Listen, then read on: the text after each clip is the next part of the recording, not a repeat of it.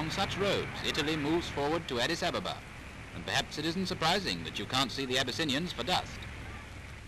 And after the advance comes the road making, and every sort of gardening implement from the small boy's bucket and spade to these giant power-driven grabs comes into action to make Abyssinia fit for civilized Italians to live in. And gardening tools aren't the only things they use. They also have miniature railways.